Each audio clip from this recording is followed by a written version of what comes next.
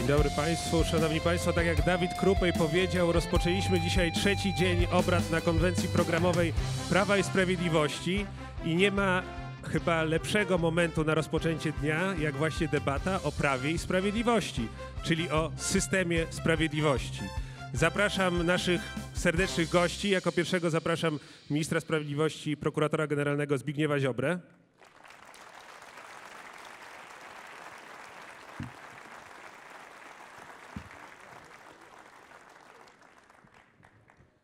Zapraszam sekretarza stanu w Ministerstwie Sprawiedliwości, doktora Michała Wójcika.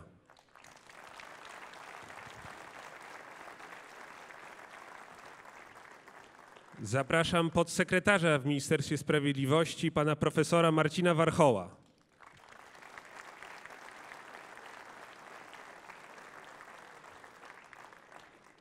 Zapraszam kolejnego podsekretarza w Ministerstwie Sprawiedliwości, pana doktora Marcina Romanowskiego.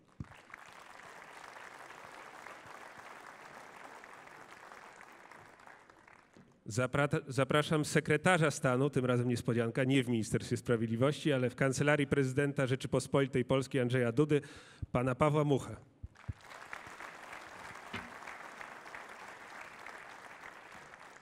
I jako ostatniego panelistę zapraszam pana profesora Jakuba Stelinę, profesora Uniwersytetu Gdańskiego, kierownika prawa pracy na Uniwersytecie Gdańskim.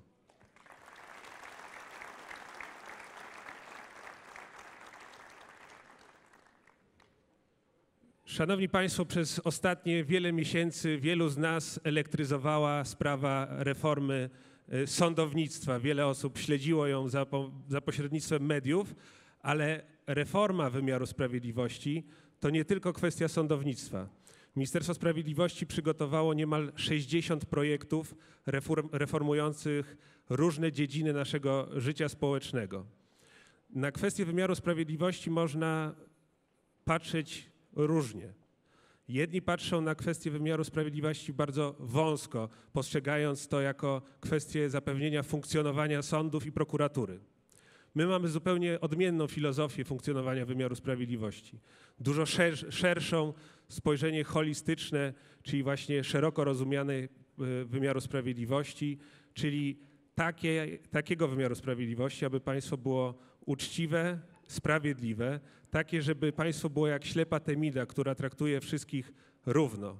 I właśnie o tym dzisiaj będziemy debatować z moimi gośćmi, z naszymi panelistami i jako pierwszego poproszę o zabranie głosu pana doktora Michała Wójcika, który jest wszemi wobec znany z tego, że walczy o prawa rodziny, prawa dzieci w postępowaniach transgranicznych. Ostatnio wielki sukces ministra Wójcika, jeśli chodzi o przyjęte rozporządzenie w, przez Parlament Europejski Bruksela 2 bis, ale więcej opowie pan minister Michał Wójcik. Bardzo proszę. Dziękuję bardzo. Dziękuję bardzo. Nie wiem, czy słychać mnie, tak? E, Szanowny Panie Ministrze, Szanowni Państwo, e, bardzo się cieszę, że mogę tutaj dzisiaj wystąpić w tym panelu w mieście, no, z którego tak naprawdę trafiłem do parlamentu, z Katowic. Tutaj jest moje biuro. Cztery lata temu miałem okazję być również e, uczestnikiem tego kongresu. I wówczas, szanowni państwo, miałem problem, żeby się dostać na salę, panie ministrze. Jak ten czas się zmienia? Po czterech latach dzisiaj mogę tutaj ze sceny opowiadać o tym, co się udało zrobić przez ponad trzy lata. Któregoś dnia zadzwonił do mnie prokurator generalny, minister sprawiedliwości i zaproponował e, funkcję e, i ten obszar, którym się rzeczywiście miałem zajmować przede wszystkim to są dzieci, ochrona praw dzieci. Nie tylko, bo zajmuję się także i więziennictwem, budżetem, instytutami, ale dzieci to jest, można powiedzieć, takie oczko w głowie moje, ten obszar, ten departament, który akurat dotyka tych spraw. I kiedy przyjąłem to wyzwanie, no to zobaczyłem dopiero, że to jest rzeczywiście ogromne wyzwanie, bo w czasie spotkania w parlamencie, w którym uczestniczyli parlamentarzyści różni, różnych opcji, nagle się okazało, że wszyscy się pokłócili. Dopiero zobaczyłem, z czym tak naprawdę mam się zmierzyć, że nawet nie ma ustawy tak naprawdę, która reguluje kwestie transgraniczne, czyli w momencie, kiedy na przykład dziecko jest przewożone z jednego kraju do drugiego, co wówczas trzeba zrobić, jakie zadania stawiane są państwu polskiemu. I chcę państwu powiedzieć, że pierwszą rzeczą, którą zrobiliśmy, to takie spotkanie z pracownikami. Zapytałem się pracowników, które państwo w Europie najlepiej chroni prawa dzieci. I oni mi odpowiedzieli nazwę tego państwa, nieważne które. Powiedziałem, tak macie działać. Tak właśnie jak działa organ centralny w tym państwie. Zbudowaliśmy cały wydział, który zajmuje się sprawami transgranicznymi.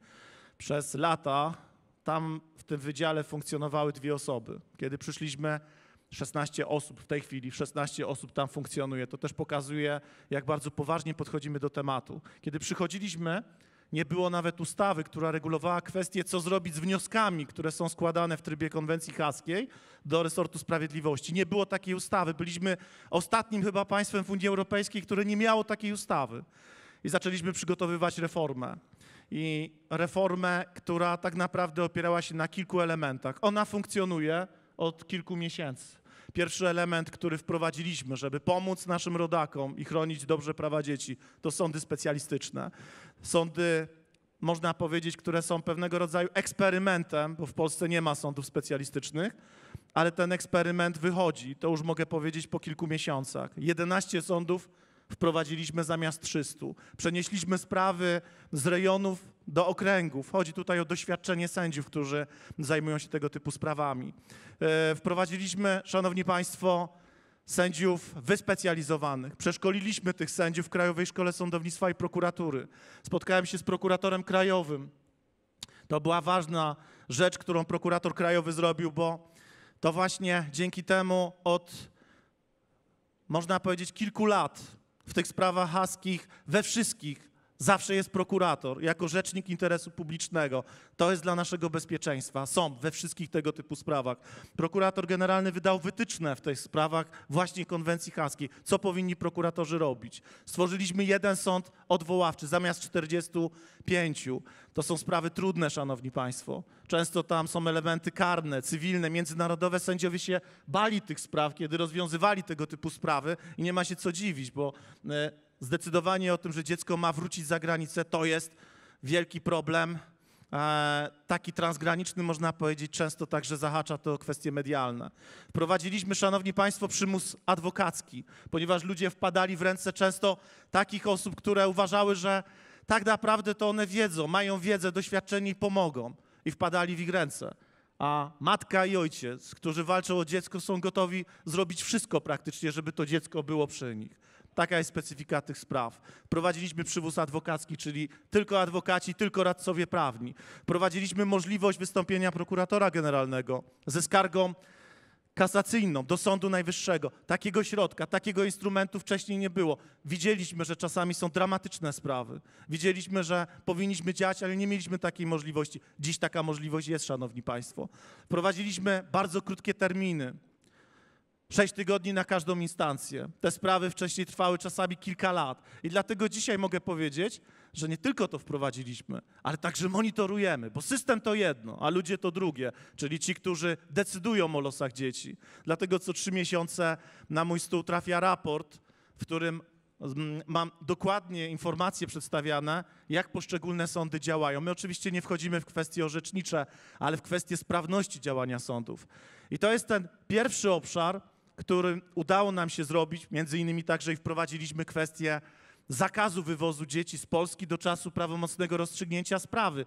Inaczej zupełnie niż było, niż było to do, naszych, do naszego przyjścia do władzy, do czasów początku dobrej, dobrej zmiany.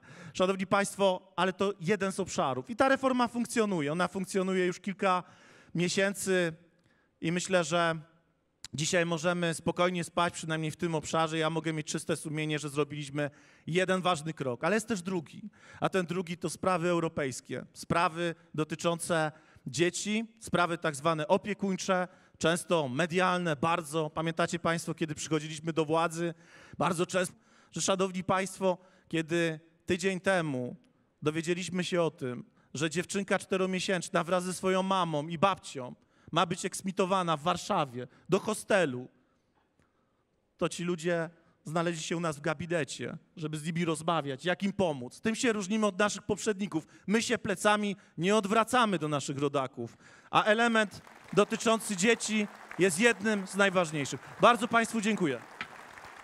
Bardzo dziękuję panie ministrze. Myślę, że tytuł jest bardzo wymowny i prawdziwy, że rodzina jest dla nas najważniejsza. E, Mówiłem już o tym, że wymiar sprawiedliwości rozumiany szeroko to liczne projekty, które dotyczą bardzo wielu dziedzin życia społecznego.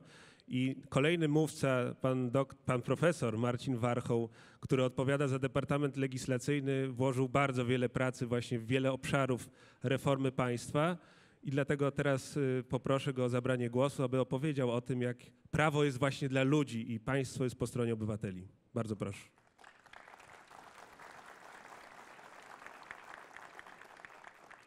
Szanowny Panie Ministrze, Szanowni Państwo, jednym z haseł naczelnych tego kongresu jest wolność. Polacy mają prawo do wolności. Do wolności od mafii lichwiarskich i od mafii farmaceutycznych. Nie może być tak, że Polak płaci sześć razy tyle za pożyczkę co Niemiec, a 3,5 razy tyle co Słowak. Polacy nie są obywatelami drugiej kategorii.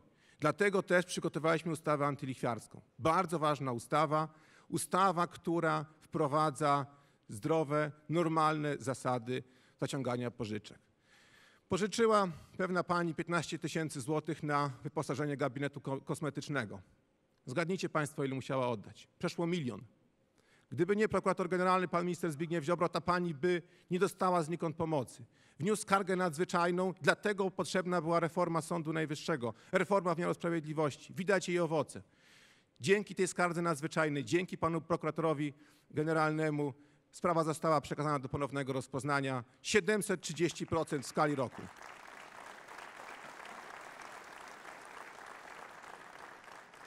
Z tamtego tygodnia kolejna skarga nadzwyczajna pana ministra Zbigniewa Ziobry, tym razem odsetki prawie 200%. Koszty pozaodsetkowe prawie 200%. Tego typu sytuacji jest bardzo wiele. Wiele postępowań. Jedno z największych dotyczy około 1500 mieszkań, które są pod lupą prokuratury. Dlatego też koszty maksymalne powinny być jasno określone. Polacy powinni wiedzieć, ile zapłacą za pożyczkę. Stąd też przygotowaliśmy oprócz ustawy specjalny mechanizm, aplikację na telefon, żeby każdy mógł sobie sprawdzić, ile kosztuje pożyczka. Nie trzeba znać paragrafów, nie trzeba znać ustaw. Wystarczy pójść do osoby, która takie pożyczki udziela, wpisać liczbę miesięcy, wysokość pożyczki i wyskoczy nam oprocentowanie. Niebawem już Państwo będziecie mogli się z tym zapoznać. Polacy mają prawo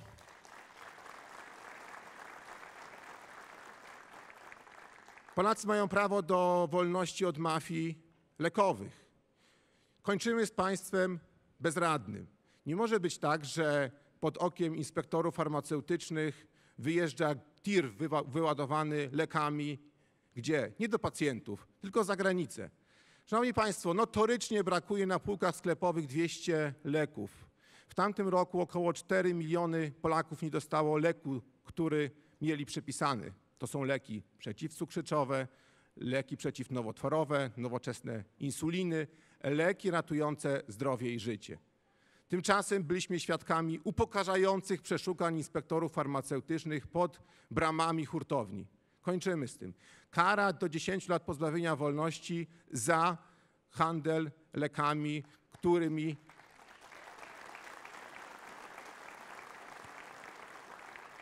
których dostępność jest ograniczona. 300 tysięcy złotych za ukrywanie dokumentów, do trzech lat pozbawienia wolności za utrudnianie kontroli, kontrole nagłe. To był paradoks polegający na tym, że w sytuacji, w której y, kontroler wchodził, musiał wcześniej informować o tym, że ta kontrola się odbędzie. Przecież to się mija z celem. Dlatego też przygotowaliśmy ustawę, która przed miesiącem weszła w życie.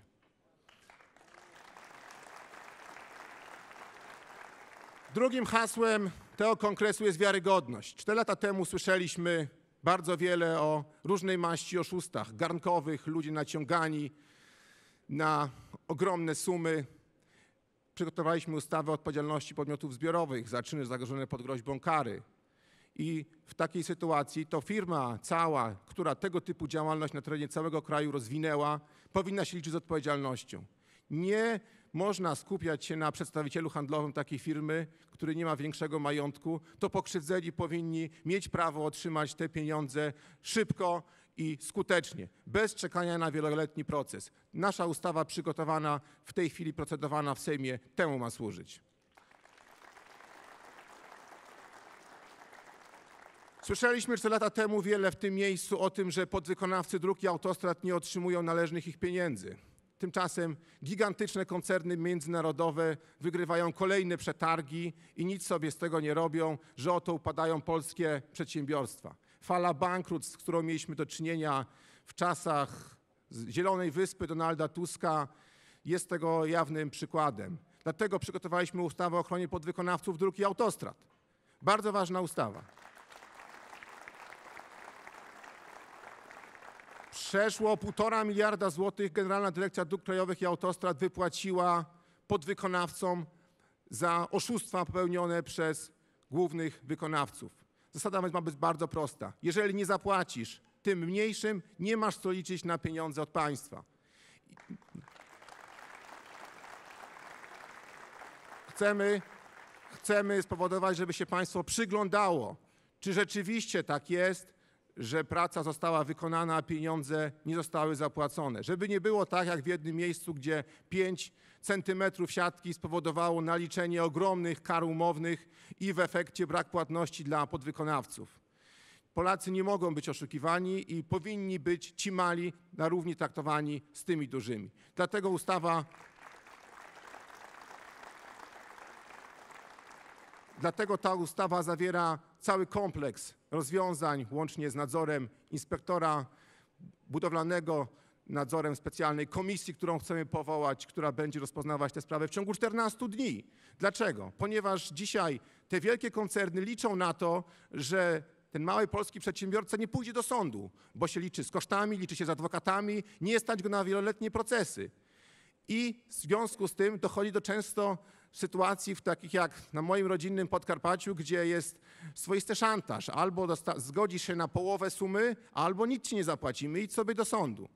W związku z tym Komisja Nadzoru, która ma rozpoznawać te sprawy w ciągu 14 dni, tryb administracyjny z zaświadczeniem od inspektora nadzoru budowlanego, inspektora inwestycji drogowych, który sprawdza wiarygodność tej wykonanej umowy, zgodność tej roboty z umową.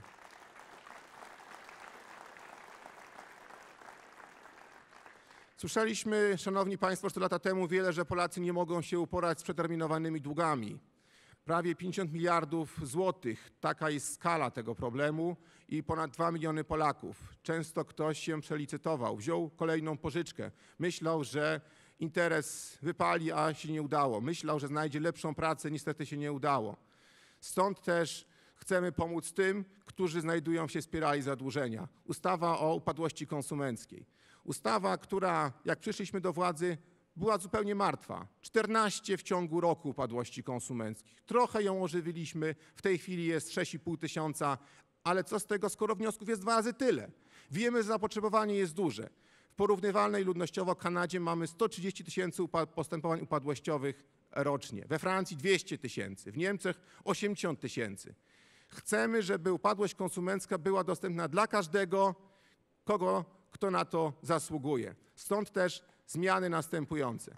Sąd nie będzie badał na etapie otwierania postępowania upadłościowego tego, tego czy doszło do upadłości wskutek lekkomyślności, niedbalstwa, większego, mniejszego. Każdy powinien mieć drugą szansę. Upadłość konsumencka jest to szansa na nowe życie. Dlatego też Dlatego też jasne zasady oddłużenia, wychodzenia z upadłości.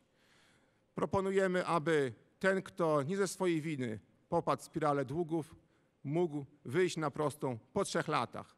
Ten, kto być może przez lekkomyślność lub przez niedbalstwo nabrał za dużo pożyczek do siedmiu lat. Oczywiście trzeba będzie majątek spieniężyć, natomiast po trzech, trzech bądź siedmiu latach jest szansa wyjścia na prostą. Zwłaszcza dla przedsiębiorców bardzo ważna i potrzebna ustawa. Chcemy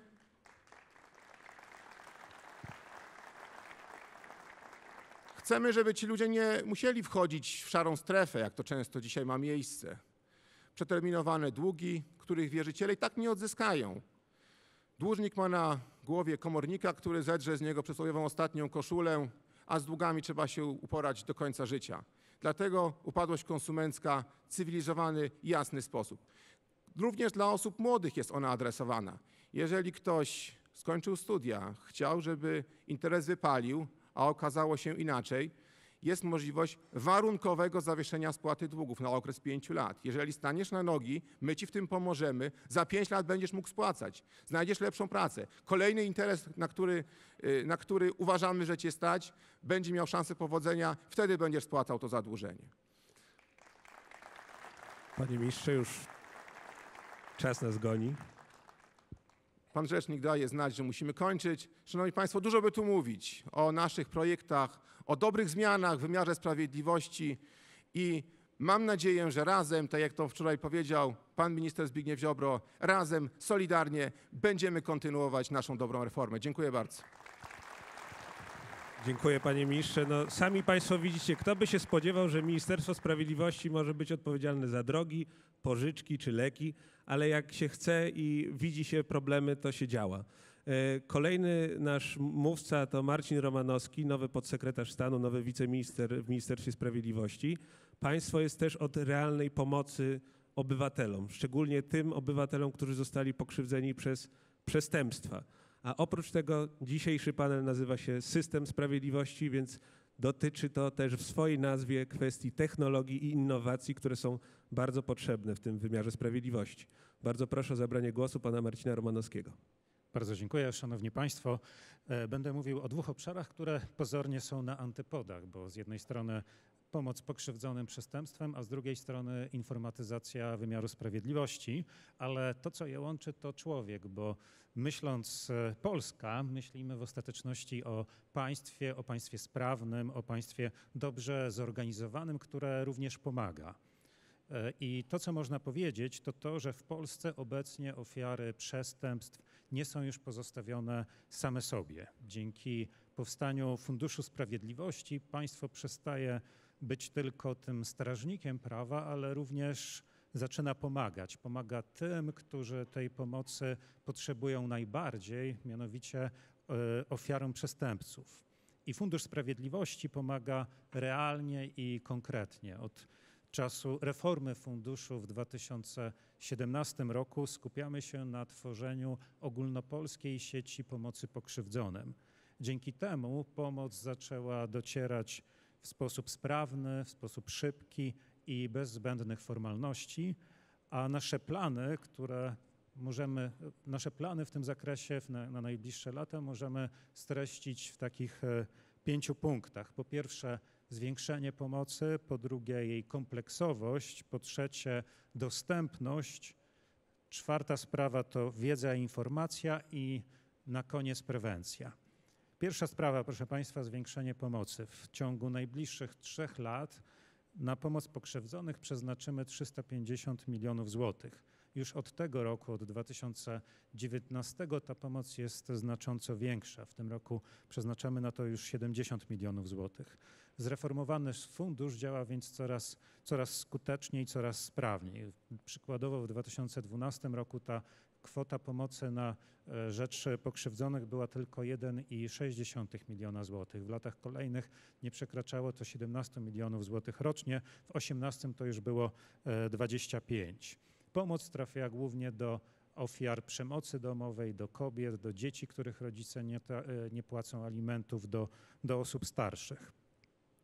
Po drugie, konkretna, kompleksowa i szybka pomoc, szybkie wsparcie. Ofiary przemocy mogą liczyć nie tylko na pomoc prawną, nie tylko na pomoc psychologiczną, ale otrzymują również często konkretną materialną pomoc, pokrywanie kosztów leczenia, rehabilitacji, zakupu leków, szkoleń czy kursów zawodowych. Uzupełnieniem e, tej pomocy są, są i będą centra specjalistyczne, związane na przykład z rehabilitacją osób pokrzywdzonych, czy też przeznaczone dla osób potrzebujących tej pomocy w sposób szcz- szczególny, takiej specyficznej pomocy, jak na przykład dzieci czy, czy młodzież. Pierwszym takim centrum będzie e, w ramach naszej sieci klinika Budzik dla dorosłych. Trzecia rzecz to to, żeby ta pomoc była na wyciągnięcie ręki. E, Tworzymy sieć pomocy, która będzie się składać z 60 ośrodków regionalnych, z 337 punktów lokalnych, tak żeby na terenie każdego powiatu było co najmniej jedno miejsce, gdzie taką pomoc można uzyskać, a odległość między nimi nie przekraczała 40 kilometrów. Już teraz mamy 300 takich e, miejsc na terenie e, całego kraju. Dodatkowo od lutego tego roku działa linia pomocy osobom pokrzywdzonym, telefoniczna linia dostępna 24 godziny na dobę, 7 dni e, w tygodniu, gdzie można zarówno otrzymać tę pomoc bezpośrednią, poradę prawną, poradę psychologiczną, jak też dowiedzieć się, gdzie można się udać, e, do którego, do, do którego ośrodka, w jakich godzinach i pod jakim adresem. Czwarta sprawa to to, że wiedza, informacja też ma służyć osobom pokrzywdzonym. Dzięki akcji informacyjnej, którą przeprowadziliśmy na początku tego roku, ponad 90% dorosłych Polaków dowiedziało się o możliwości skorzystania z pomocy osobom e, pokrzywdzonym. Ponad 80 tysięcy osób e, skorzystało z wyszukiwarki punktów pomocy na naszej stronie e, internetowej. Teraz planujemy kolejne akcje skierowane do dzieci, do młodzieży. Chcemy e, poświęcić to zjawisko cyberprzemocy, hejtu wśród młodzieży. Szczególną uwagę też poświęcimy zabezpieczeniu najmłodszych użytkowników e, internetu przed zagrożeniem płynącym z pornografii i przed pedofilią. Naszą ofertę też chcemy kierować do osób starszych. E, I prewencja, proszę Państwa. Lepiej zapobiegać niż leczyć. Kierując się tą zasadą, ogłosiliśmy w tym roku program, który ma na celu to, żeby powstał kompleksowy, ogólnopolski system edukacyjny w tym zakresie. Z kolei dzięki projektom badawczym będzie możliwe to, żeby wprowadzić do naszego systemu rozwiązania, które będą nowatorskie i inwestycyjne. I na zakończenie tego wątku sieci pomocy e, pokrzywdzonym, integracja narzędzi pomocy. Docelowo planujemy zintegrować naszą sieć pomocy osobom pokrzywdzonym z drugą działającą w ramach Ministerstwa Sprawiedliwości e, siecią nieodpłatnej e, pomocy prawnej i poradnictwa obywatelskiego. O tej sieci będzie mówił za chwilę e, pan minister Mucha. Natomiast ja mogę powiedzieć tyle, że każdego miesiąca, czy to do ministerstwa, czy do funduszu, czy do nas- naszych ośrodków regionalnych wpływa, wpływają tysiące skarg, przychodzi tysiące osób, wpływają tysiące skarg, które nie zawsze pochodzą od osób e, pokrzywdzonych przestępstwem, ale zawsze opisują ludzkie tragedie, które e, wymagają pomocy. Dlatego ta integracja tych dwóch narzędzi sprawi, że taka pomoc będzie bardziej efektywna, będzie skuteczniejsza. Już teraz e, tworzymy pewien system teleinformatyczny. On jest właśnie w tych dniach wdraża- wdrażany na rzecz, e, e, na, na, na rzecz tej sieci poradnictwa prawnego, ale już mamy tam wbudowaną szynę technologiczną, która umożliwi integrację z siecią pomocy pokrzywdzonym i mam nadzieję, że również w przyszłości z innymi systemami pomocy specjalistycznej e, będące w zakresie działania innych resortów. To też pokazuje, że dla nas w centrum jest człowiek, pomoc jemu i chcemy, chcemy przekraczać właśnie te ograniczenia resortowości, ograniczenia silosowości. To też pokazuje, jak technologia może rzeczywiście praktycznie e, służyć człowiekowi.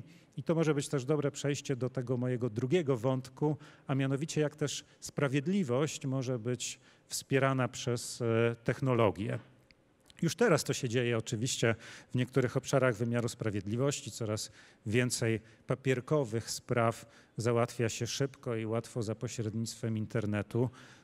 Przez internet możemy przecież załatwić sprawy w Krajowym Rejestrze Sądowym, w księgach wieczystych, w Krajowym Rejestrze Karnym. Możemy złożyć e, wniosek o wpis do rejestru spółki prawa handlowego. Przez e-płatności możemy uregulować e, opłatę sądową. Od marca zeszłego roku sprawozdania finansowe e, przedsiębiorców wpisanych do Krajowego Rejestru Sądowego mogą być składane wyłącznie w postaci elektronicznej. Jest już oczywiście też normalnością, że możemy korzystać w ogóle z zasobów Krajowego Rejestru Sądowego, ksiąg wieczystych, możemy uzyskać odpisy z ksiąg wieczystych czy, czy z KRS-u, czy informacje o e, karalności z Krajowego Rejestru Karnego.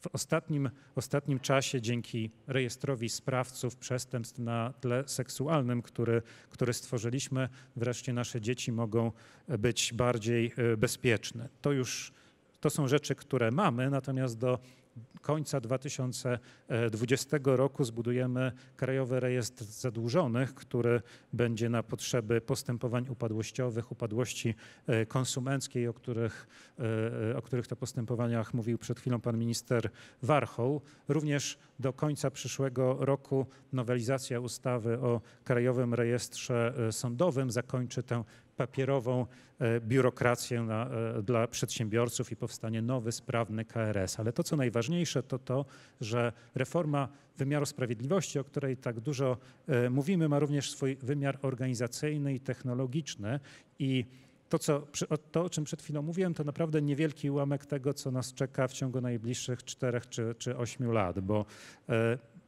budujemy, tworzymy ten ekosystem e, sądowy, w tym stworzyliśmy już elektroniczny system losowania przydziału spraw, ale pracujemy nad tworzeniem i rozwojem ekosystemu, centralnego systemu e, sądowego, który będzie wspierać bieżącą działalność sądu, i tę działalność związaną z orzekaniem. To pozwoli wykorzystać różnego rodzaju narzędzia analityczne, łącznie z mechanizmami e, sztucznej inteligencji, po to, aby ujednolicać w dalszej kolejności orzecznictwo, eliminować orzeczenia kontrowersyjne, wspierać sędziego w jego, w jego decyzjach sędziowskich, wykrywać i eliminować e, patologie, a także wzmacniać e, transparentność i elastyczność pracy sądów. a więc to są, to są nasze plany.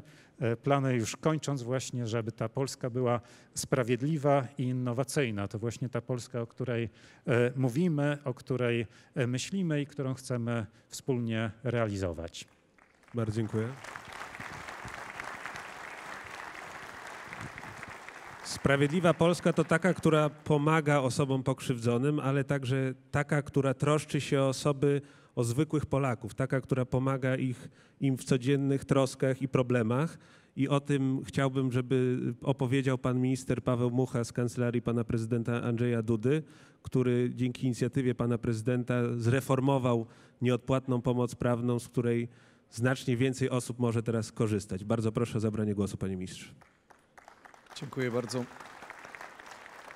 Szanowni Państwo, oczywiście tak jak mówimy e, o tytule naszego panelu System Sprawiedliwości, kluczowe jest to, żeby system sprawiedliwości był postrzegany nie jako jakieś narzędzie odhumanizowane rozstrzygania spraw na podstawie przepisów. W tym wszystkim najważniejszy jest człowiek. Najważniejsze jest to, żeby dostrzec sprawę i wyciągnąć, wyciągnąć rękę do udzielenia pomocy. I to jest ta wrażliwość, która od początku jest e, bym powiedział, znakiem działania pana prezydenta Andrzeja Dudy. Pamiętacie państwo Duda Pomoc.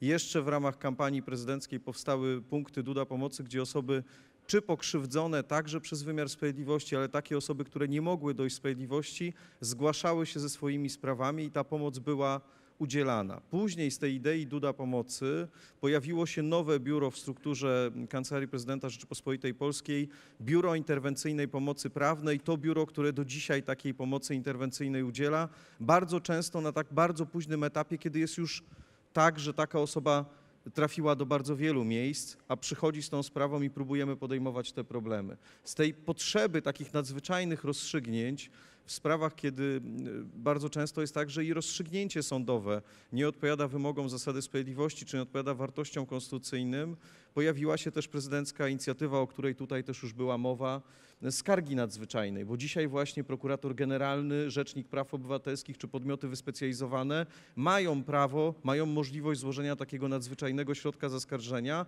Bardzo często w takiej sytuacji, kiedy jeszcze niedawno prawnik rozkładał ręce i mówił tak, ma pani, ma pan rację, ale nie ma żadnego środka prawnego, żebyśmy mogli wzruszyć to oczywiście niesprawiedliwe, niesłuszne orzeczenie. Dzięki inicjatywie prezydenta Rzeczypospolitej Polskiej to się zmieniło. Jest dzisiaj taka możliwość. Możemy tego rodzaju orzeczenia e, kwestionować. Ale drugą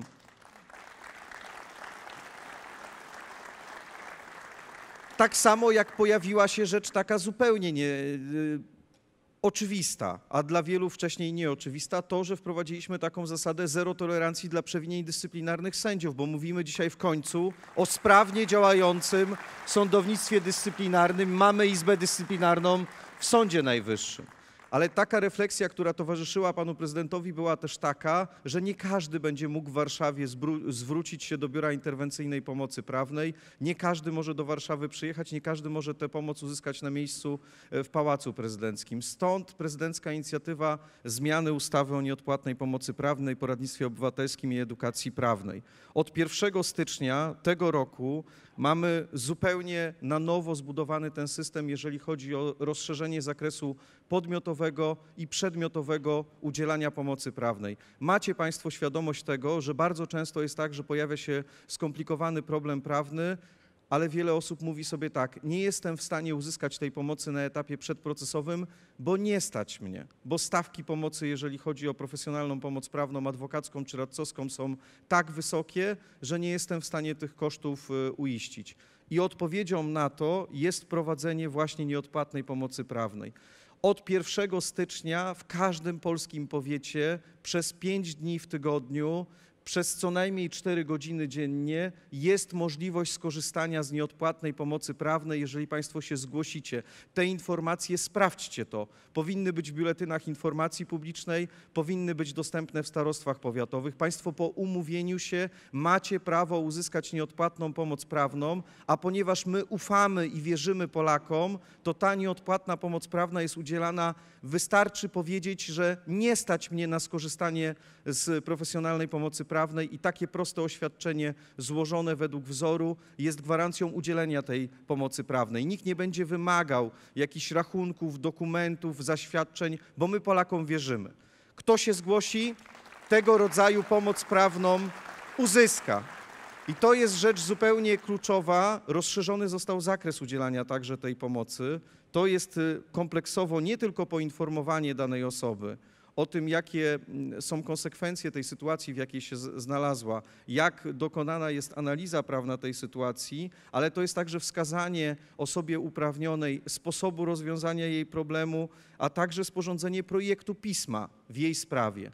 Jeżeli dana sprawa trafiła już na etapie postępowania e, sądowego, czy to jest w postępowaniu karnym, mamy do czynienia z pokrzywdzonym przestępstwem, czy to jest w postępowaniu cywilnym, jakiś spór cywilny, czy to jest postępowanie administracyjne, sądowo-administracyjne, taki prawnik, który jest nieodpłatnie dostępny, może Państwu także pomóc przygotować takie pismo, żebyście Państwo mieli pełnomocnika z urzędu, za którego nie będziecie musieli płacić. Pomoże Wam pomoże Wam sformułować pismo o zwolnienie od kosztów sądowych, bo zupełnie fundamentalną rzeczą jest to, żebyśmy byli równi wobec prawa, żeby nie było tak, że ten, którego stać na dobrego adwokata, radcę prawnego, poradzi sobie w sporze prawnym, nawet gdy nie ma racji, a ja, mając rację, nie mając środków e, pieniężnych, będę w gorszej sytuacji. Nie będę mógł uzyskać rozstrzygnięcia tylko dlatego, że jestem w sytuacji materialnej takiej, że z tej pomocy skorzystać nie jest mi dane. Zachęcam Państwa, żebyście to weryfikowali, żebyście sprawdzali, na ile sprawnie działa ten system. My ten system chcemy także rozszerzać, chcemy go rozbudowywać. To jest doświadczenie także poradnictwa obywatelskiego. Nie tylko ścisłej takiej porady prawnej dotyczącej określonego problemu prawnego, ale bardzo często takiego wsparcia szerszego, życiowego. Bo bywa tak, że pojawia się ktoś, właśnie na dyżurze u prawnika tym nieodpłatnym i widać, że to wsparcie jest potrzebne szersze. Chociażby była tutaj mowa o trafnych inicjatywach, za które trzeba pogratulować, podziękować panu ministrowi i panom ministrom dotyczących sytuacji czy to antylichwiarskiej, czy sytuacji rozmaitych problemów, które wpadają konsumenci. Chcemy, żeby ta pomoc obywatelska obejmowała takie pełne wsparcie, ale wtedy, kiedy są wskazania dla innych form poradnictwa, bo wiemy, że może być tak, że jestem pokrzywdzonym przestępstwem, a potrzebuję porady czy to konsumenckiej, czy rodzinnej, czy innej specjalistycznej. Kilka dni temu odbył się kongres poradnictwa. Pan minister także y, uczestniczył w imieniu pana ministra Ziobry, mój przedmówca.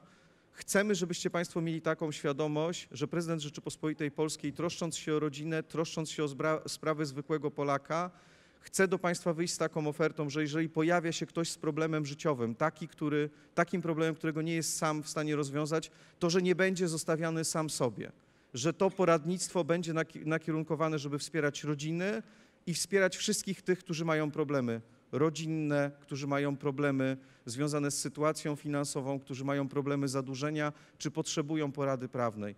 Bo to jest tak, że sprawiedliwe państwo dba o swojego obywatela i taką działalność prowadzi prezydent Rzeczypospolitej Polskiej. Dziękuję bardzo. Dziękuję panie ministrze.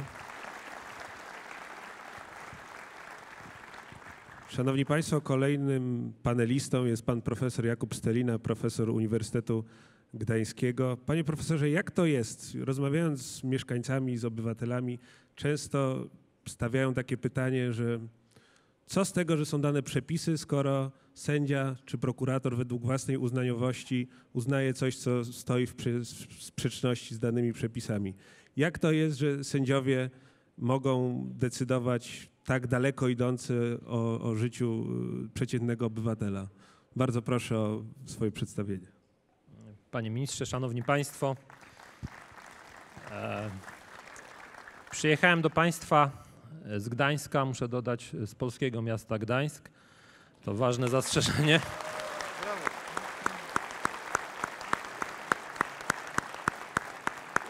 Żeby podzielić się kilkoma refleksjami na temat rządów prawa.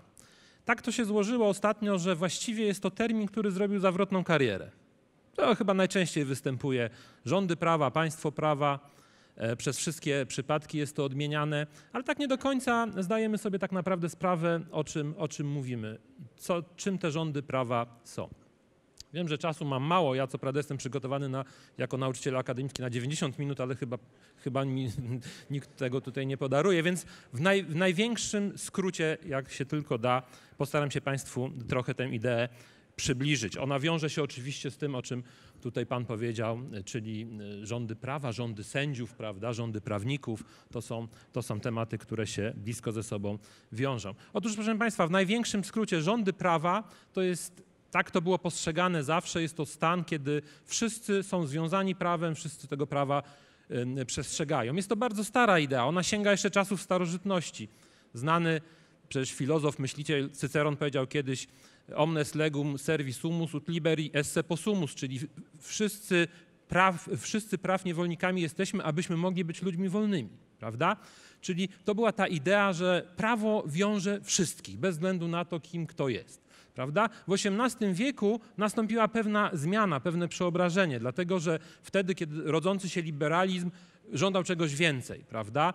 Rządy prawa, czy idea zbliżona do rządów prawa miała zabezpieczyć jednostkę przed państwem, czyli zabezpieczyć wolność jednostki przed, przed państwem. I tak to mniej więcej do dzisiaj, do dzisiaj funkcjonuje. Oczywiście zabezpieczenie jednostki przed państwem to jest system pewnych gwarancji. Tutaj taką kluczową rolę w tym systemie odgrywają oczywiście sądy. Niezależne, niezawisłe sądy, które mają strzec e, naszej, naszej wolności, stać na straży naszych, naszych praw. Z tym, że proszę Państwa, e, pewna ewolucja się tak potoczyła, że właściwie e, doszło do takiego przedefiniowania roli sądów trochę, prawda? Bo naturalną funkcją sądów jest sprawowanie wymiaru sprawiedliwości, czyli, czyli rozstrzyganie sporów pomiędzy różnymi podmiotami, prawda? Natomiast właściwie możemy obserwować na przestrzeni ostatnich, ostatnich no, dziesiątków lat coś, co można byłoby nazwać taką afirmacją aktywizmu sędziowskiego. To znaczy wymaga się od sędziów, żeby nie tylko rozstrzygali spory, ale żeby wręcz wręcz ingerowali w nasze życie, czyli ustanawiali pewne reguły. A więc w pewnym sensie od pozostawiając tę funkcję rozstrzygania sporów, wchodzimy tutaj na taki etap korygowania prawa albo wręcz nawet tworzenia prawa. Prawda? Czyli sądy jako, jako y, organy, które wypełniają taką funkcję prawodawczą, prawodawczą. Co więcej, towarzyszy temu coś, co ja nazywam trochę taką sakralizacją sądów, czyli sędziowie jako kapłani sprawiedliwości. Taki znany, bardzo znany sędzia, no nieżyjący już mm, Antonin Scalia, sędzia Sądu Najwyższego Stanów Zjednoczonych, nazywał ten proces, czy nazywał sędziów mułami Zachodu, prawda? Jakby dobrze podkreślając tę, to, to takie postrzeganie, prawda, e, sędziów jako no, pe, wyjątkowej grupy, prawda, która jest powołana do zupełnie wyjątkowych, do wyjątkowych zadań. Ale proszę Państwa, jeśli wchodzimy w kwestię sądów jako twórców prawa, czyli tej funkcji prawodawczej sądów, no to niechybnie stajemy przed konfliktem demokracja a rządy prawa. Demokracja, rządy prawa, prawda? Bo pojawiają się dwa organy prawodawcze, tak na dobrą sprawę. No ten parlament, prawda, który jest powołany do tego, żeby, żeby tworzyć prawo, czyli władza polityczna, no i władza sądowa, która też rości sobie tak, tego, tego typu prawa. Jak z tym sobie poradzić? To jest, to jest duże zadanie, to jest duży spór, przed którym stoimy, który obserwujemy.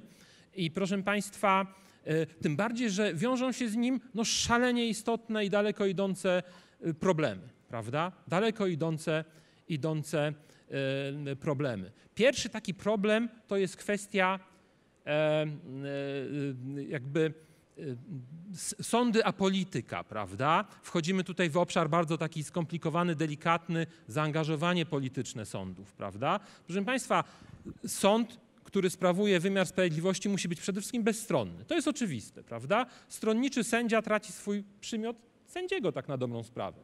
Sędzia musi być sprawiedliwy, musi wydać sprawiedliwy wyrok.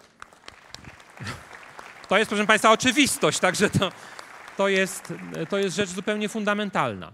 Natomiast powstaje pytanie, jeśli sędzia, bo przecież każdy sędzia ma poglądy polityczne, bo każdy człowiek ma poglądy polityczne, ale wymagamy, aby zachowywać bezstronność, aby nie te przejawy pewnych poglądów, żeby one nie wychodziły na zewnątrz, prawda? My znamy przykłady, gdzie ktoś, kto jest zaanga- zaangażowany politycznie, potem y, zdejmuje coś, zakłada łańcuch, prawda, i sądzi potem także w sprawach, w których występują politycy. To są rzeczy oczywiście niedopuszczalne. Natomiast proszę Państwa, proszę Państwa, jest e, sędzia, sędziowie, którzy angażu, angażują się politycznie, to jest bardzo niebezpieczna sprawa. Ja Państwu powiem, badając tą sprawę, jest takich dwóch wybitnych znawców przedmiotu. To jest José María Maravel i Adam Przeworski. Pierwszy jest Hiszpanem, drugi jest Polakiem mieszkającym w Stanach Zjednoczonych. Oni badali właśnie tę sferę styczności sądów i, i polityki. I proszę sobie wyobrazić, że przeczytałem u nich takie zdanie, które mnie na początku zdumiało, ale to jest bardzo głębokie zdanie.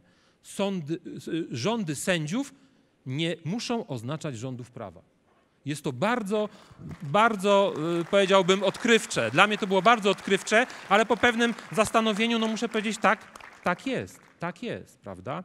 Tak jest. Proszę Państwa, tutaj oczywiście w grę wchodzą jeszcze dodatkowe różne, różne problemy. Mamy, mamy kwestię, jeżeli sądy tworzą prawo, no to proszę Państwa, pytanie jest takie, a jak, sędzio, jak sędziowie są przygotowani do, do tworzenia prawa? Jaka jest odpowiedzialność polityczna za złe prawo, prawda? Tego tutaj nie ma. To są pewne problemy. Ja nie mówię tego, żeby dezawuować sądy, ja tylko mówię, stawiam pewne problemy, które, z których musimy sobie zdawać sprawę w dyskusji. Jeszcze rozumiem, że parę, parę minut mi zostało. Już, już, już kończymy. Proszę Państwa, e, powiem w takim razie tak. To w takim razie ostatni, ostatni taki akcent. Jak sobie w takim razie z tym poradzić, prawda? Jak sobie, jak sobie z tym poradzić? Bo przecież pra- prawotwórcza rola sądów to jest także kwestia podziału władz, prawda? Władza polityczna, władza, władza sądownicza. No, tak jak twórcy tej, tej zasady podziału władz wymyślili, no muszą być jakieś hamulce, muszą być jakieś ograniczenia. I proszę Państwa, i ostatnia rzecz w takim razie, chociaż chciałbym wiele jeszcze rzeczy powiedzieć. Ostatnia rzecz, to jest także kwestia procesu nominacji sędziowskich, prawda? Czy ona nie powinna być zdemokratyzowana? Czy nie powinny wchodzić tutaj pewne elementy demokratyczne, prawda? I zakończę też cytatem. Zakończę, proszę Państwa, też cytatem z sędziego Skali, który powiedział tak, że mówiąc o sytuacji w Stanach Zjednoczonych, gdzie przecież prezydent mianuje sędziów, prawda? E, za zgodą Senatu i tak dalej, i tak. Niektórzy w ogóle sędziowie stanowie są wybierani w wyborach. Proszę Państwa, sędzia Scalia powiedział tak, nie cieszy mnie upolitycznienie procesu nominacji sędziów, ale wolę to od rządów arystokracji sędziowskiej. Dziękuję bardzo. Bardzo dziękuję, panie profesorze. Wiele niezwykle istotnych wątków. Ten aktywizm sędziowski byliśmy świadkami w ostatnich miesiącach, z czym mamy do czynienia. O podsumowanie naszej debaty poproszę ministra sprawiedliwości, prokuratora generalnego pana Zbigniewa Ziobrę, który no, siłą rzeczy jest inicjatorem i pomysłodawcą tych wszystkich zmian, o których była okazja rozmawiać. Bardzo proszę panie ministrze o zabranie głosu. Dziękuję bardzo. Dziękuję serdecznie. Szanowni Państwo, zainspirowała mnie wypowiedź pana profesora, który powiedział, że zacytował w zasadzie wybitnego autora, znawcę zagadnień sądownictwa, e, że rządy sędziów nie muszą być rządami prawa. Ja mogę powiedzieć, że rządy tych sędziów, którzy uważają się sami za nadzwyczajną kastę, z definicji nie mogą być rządami prawa.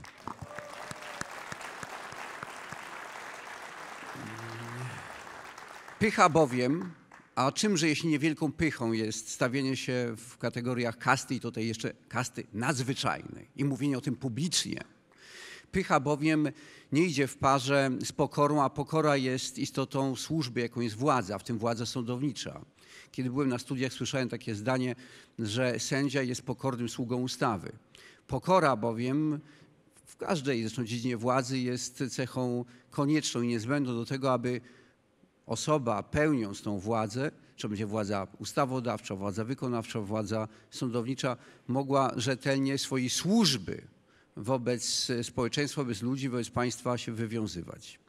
Mamy z tym problem. Mamy problem z tą sferą, która, jest, która wypełnia prawo, która jest związana z pewną mentalnością, kulturą, można powiedzieć mentalnością też i postkomunistyczną, która jakże żywo daje o sobie znać e, w obszarze funkcjonowania sądownictwa.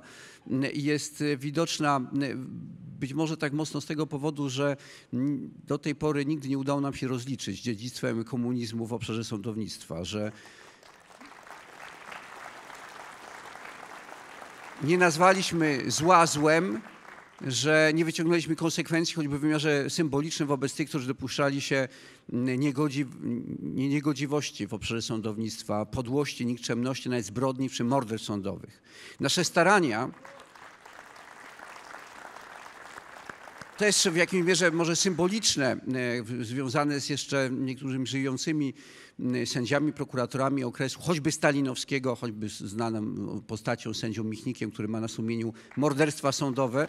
Niestety napotykają na opór też tych sędziów, którzy w, na przykład w Szwecji starają się nas upominać i przypominać o zasadach, o praworządności, o przyzwoitości, o prawach człowieka, ale wtedy, kiedy my domagamy się elementarnej przyzwoitości, pociągnięcia do odpowiedzialności człowieka, co do którego jest zebrany materiał dowodowy wskazujący na poważne zbrodnie komunistyczne, morderstwa sądowe popełnione z premedytacją i rozmysłem, skazywanie niewinnych ludzi w, w, w, służbie ideologii zbrodniczej komunistycznej, to ci sami sędziowie nabierają wody w ustach i nie chcą nam wydać osoby, y, która y, powinna być pociągnięta do odpowiedzialności karnej. Nie widać też entuzjazmu i nigdy nie było widać w gremiach środowisk sędziowskich, aby odciąć się od tego, od tej przeszłości. Nie chodzi o to, żeby wszystkich w czambuł potępiać, bo można też dać szansę przecież y, do y, y, y, jakiejś y, y, przeprosin, do, do, do pe- pe- pewnego, można powiedzieć, rachunku sumienia tym, którzy może nie dopuścili się jakiejś wielkiej niegodziwości, a mieli na sumieniu drobniejsze sprawy, aby mogli się rozliczyć z tym, co za nimi, ale tu w ogóle tego rodzaju, nawet tak drobnej woli generalnie nie było, nie ma i nie widać, aby była. Dlatego podjęliśmy się też tej wielkiej reformy sądownictwa, podjęliśmy się tej wielkiej reformy sądownictwa, aby doprowadzić do zmiany też, zmiany postawy, zmiany myślenia, zmiany mentalności w środowisku sędziowskim, które powinno pamiętać przede wszystkim, że demokracja to nie jest e, tylko fasada, ale demokracja ma i może mieć również wpływ na funkcjonowanie sądownictwa, że sędziowie to nie jest jakaś zamknięta e, kasta, która sama siebie może wybierać i funkcjonować, tworzyć państwo w państwie obok demokracji, tylko sędziowie są elementem systemu demokratycznego i muszą liczyć się też z wolą większości społeczeństwa i muszą liczyć się z rozwiązaniami, jakie proponujemy.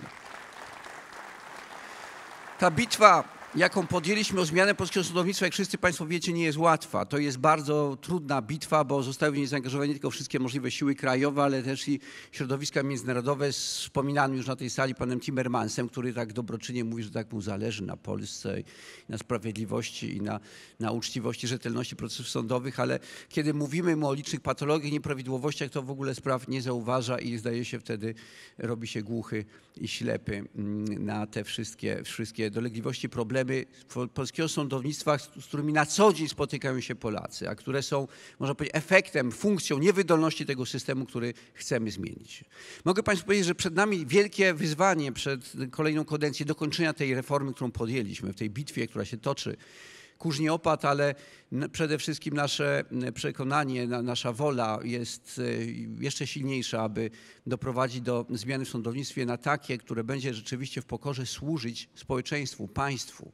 bo każdy sędzia zasługuje na szacunek, ale taki sędzia przede wszystkim, który wie, jaka jest jego rola i miejsce w społeczeństwie i w sposób niezawisły, wolny od wszelkich nacisków, zgodny z swoim sumieniem, przyzwoity moralny, wydaje sprawiedliwy wyrok. I tego właśnie chcemy i tylko tego chcemy. Chcemy sprawnego, silnego polskiego państwa. Nie ma silnego, sprawnego państwa bez sprawnie, silnie działających sądów, sprawnie, szybko działających sądów. E, I to jest naszym, naszym celem. Wiele dobrego się dzieje w Polsce, jestem przekonany przez te cztery lata, również w obszarze sprawiedliwości. Moi przedmówcy, wielce szanowni przedmówcy podawali liczne przykłady wskazujące na zmiany naszą pracę. Mogę Państwu powiedzieć, że już tylko w pierwszym roku, jeśli popatrzeć na liczby pracy Ministerstwa Sprawiedliwości, przygotowaliśmy więcej ustaw niż przez cztery lata, czyli przez całą kadencję e, ustaw powstało w Ministerstwie Sprawiedliwości w okresie rządów Platformy Obywatelskiej. To pokazuje, że nie marnowaliśmy czasu, to pokazuje ogrom wyzwań, jakie podjęliśmy i to pokazuje naszą determinację i wolę zmiany. Ale ta wola obejmuje bardzo wielką przestrzeń, bo to nie tylko sądy różnych specjalności, to nie tylko prokuratura, to nie tylko zawody prawnicze jak adwokaci, radcy, notariusze, to, to też komornicy, ku- kuratorzy, syndycy, to też wiele obszarów i materii, które na pierwszy rzut oka nikt zapytany nie kojarzyłby sądownictwem, na przykład mafia lekowa, leki, redystrybucja leków, a jednak to właśnie e, przygotowana ustawa w Ministerstwie Sprawiedliwości. To kwestia upadłości, a więc problem wielki społeczny spowodowany różnymi czynnikami, czasami no, nieuczciwą, też można powiedzieć szeroko rozumianą polityką banków e, i właśnie firm lichwiarskich, które doprowadziły Polaków, wielu Polaków do zapętlenia kredytowego, do dramatu życiowych, nawet w skrajnych wypadkach niestety do dramatu samobójstw, do emigracji, do, do, do można powiedzieć e, e, znalezienia się na marginesie społecznym i my widząc ten problem zaproponowaliśmy ustawę, o której mówił pan minister Warchoł, upadłości konsumenckiej, aby podać rękę tym, którzy często nie z własnego powodu znaleźli się w dramatycznej sytuacji, bo zachorowali, bo nie mieli pracy. Bo państwo musi też być państwem widzącym te ludzkie dramaty, a nie państwem bezwzględnym i, e, i zimnie patrzącym z wyrachowaniem na, na e, obszar, któ- którym przy, przychodzimy się zajmować. Mm, e, Dlatego też zajęliśmy się kwestią pożyczek. No to pewien paradoks. Muszę Państwu powiedzieć, że to była niezwykle ciężka ustawa, ustawa lichwiarska, którą której sygnalizował, o której wspominał pan minister Warchoł, dlatego że tak naprawdę ustawą o pożyczce, ustawą o kre- kredycie konsumenckim powinno z definicji zajmować się Ministerstwo Finansów, ale muszę Państwu powiedzieć, że kiedy y, dokonałem analizy jako prokurator generalny y, spraw związanych z y, ogromnym problemem lichwy i, i tysiącami Polaków, którzy tracili dorobek całego życia, mieszkania, dlatego że zaciągnęli kilkaset złotową pożyczkę, to uznałem, że to jest wielkie draństwo i na, na to się nie można zgodzić. Powiedziałem, musimy się za to wziąć. I z jednej strony działanie prokuratury i sądów, ale zobaczyliśmy, że te narzędzia prawne, właśnie prawo karne, w tym przepisy prawa karnego są bardzo niedoskonałe. One są bardzo ogólne i pozwalają przestępcom korzystającym przez bardzo dobrych adwokatów uchodzić od odpowiedzialności i wyduszać ten ostatni grosz. No jest mnóstwo takich przypadków. Zapewniam Państwu, bo przykład Marcin Warchoł się odwołał do ostatnio e, skargi nadzwyczajnej, jaką e, faktycznie wniosłem, dzięki inicjatywie pana prezydenta, który to był pomysł, o czym mówił pan minister Mucha, do Sądu Najwyższego, e, broniąc kobiety, która zaciągnęła kilkanaście tysięcy złotych pożyczki, e, prowadząc, e, o ile pamiętam, salon kosmetyczny e, i, i okazało się, że ma płacić milion, przeszło milion złotych za kilkanaście tysięcy, prawda? 700% bodaj odsetki, koszty, które musiała rocznie ponosić tej pożyczki. No gigantyczna skala. Co to ma do czynienia ze sprawiedliwością? Nic. A co ma do czynienia z lichwą? Wszystko. I mogło to się dziać w świetle prawa? Mogło. Polskie sądy powiedziały, bo to był wyrok prawomocny pierwszej i drugiej instancji, że to jest zgodne z prawem, że to mogło być. Mogło być. A my uważamy, że tak nie może być. No i stąd wzięliśmy się za ustawę lichwiarską i, i ostateczny projekt trafił, został przyjęty przez rząd. Mm, Nie będę teraz wchodził w szczegóły y, pracy nad tym projektem, ale nie było, nie było to przedsięwzięcie łatwe. Drodzy Państwo, wielka to materia, jeżeli chodzi o sprawiedliwość, bo dotyka bardzo wielu ludzkich spraw. Pozwólcie, że na koniec od- odniosę się do tej y, przestrzeni, która w sposób taki naturalny kojarzy się ze sprawiedliwością, czyli polityki karnej. Sprawa niejako na żywo wróciła w związku z zmianami, nowelizacjami kodeksów karnych i pojawiły się zarzuty, że my zaostrzamy nieadekwatnie prawo karne, a po co to jest niepotrzebne, że jesteśmy okrutni, bezwzględni wobec przestępców. No, ta, takie znam no, no, straszne typy, że tych, tych więźniów chcemy gnębić. Zdaniem Platformy Obywatelskiej oczywiście. Ja się nie dziwię, że Platforma ma w tych zakładach karnych takie poparcie i gremialnie wygrywa wszystkie wybory, ale my, my przejmujemy się my, my przejmujemy się my przejmujemy się strasznym losem, ale ofiar przestępstw, osób pokrzywdzonych. Ofiary przestępstw, osoby pokrzywdzonych.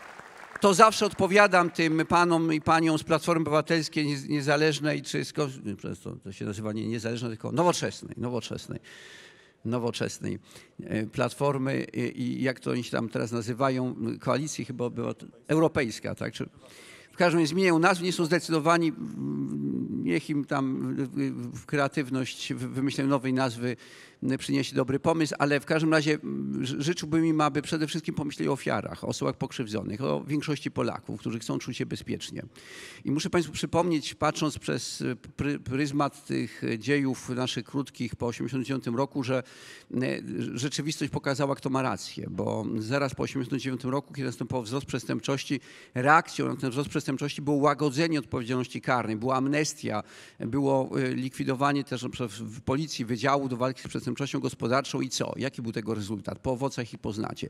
Gigantyczny wzrost przestępczości, w tym przestępczości zorganizowanej, mafijnej, y, y, porachunki bandytów na ulicach polskich miast, w tym Warszawy, całkowita bezkarność, zastraszania ludzi, zastraszanie przecież przedsiębiorców. Pamiętacie ten strajk restauratorów w Warszawie, część z Państwa to pamięta i do czego prowadzi ta łagodność. Potem była pierwsza zmiana, kiedy świętej pamięci profesor Lech Kaczyński został prokuratorem generalnym, ministrem sprawiedliwości, ja wówczas byłem jego doradcą, później wiceministrem i wtedy ta zmiana rzeczywiście była wyraźna, bo zastaliśmy, można powiedzieć, kilkanaście tysięcy miejsc wolnych w zakładach karnych, a kiedy odchodziliśmy, te więzienia wszystkie były zapełnione. Ale po raz pierwszy, po latach 90., po raz pierwszy właśnie wtedy, w 2000 roku, doszło do zatrzymania wzrostu przestępczości. I to jest właśnie fakt i dowód, że zaostrzenie polityki karnej wobec tych surowych, y, groźnych przestępców, tych, tych najcięższych przestępców przynosi właściwe rezultaty. Kolejna taka zmiana, znowu wyrażająca się w zaostrzeniu kursu wobec tych najcięższych przestępstw, bo nie mówię w zaostrzeniu wsz- odpowiedzialności karnej wobec wsz- wszelkich przestępstw. Nie, tu nie, nie ma y, wcale za- zasady takiej, że tu należy działać w sposób schematyczny, tu należy działać w sposób elastyczny. I zaostrzenie kar za te najcięższe przestępstwa przeciwko życiu, zdrowiu, wolności, przestępczość zorganizowaną e, w wymiarze realnej polityki karnej, jaka była możliwa wówczas e, po- poprzez działania prokuratora generalnego, też przyczyniło się do spadku przestępczości i wyraźnej poprawy e, poczucia bezpieczeństwa obywateli. No i teraz mamy kolejny rozdział i znowu Dziś jako i, i, przez ostatnie lata jako prokurator generalny korzystając z narzędzi, jakie posiadam, jakie mają wy- wyraźny wpływ na politykę karną, spowodowałem e, zaostrzenie polityki karnej wobec tych ciężkich przestępstw i, e, i widzimy rezultaty. No, Ostatnie badanie choćby Cebosu również pokazuje, że Polacy czują się w Polsce mm, bezpiecznie, dużo bardziej niż miało to miejsce 4 lata temu. E, 66% e, takie były odpowiedzi w 2015 roku, 90% mm, w roku bieżącym Polaków czuje się bezpiecznie. I to jest rezultat.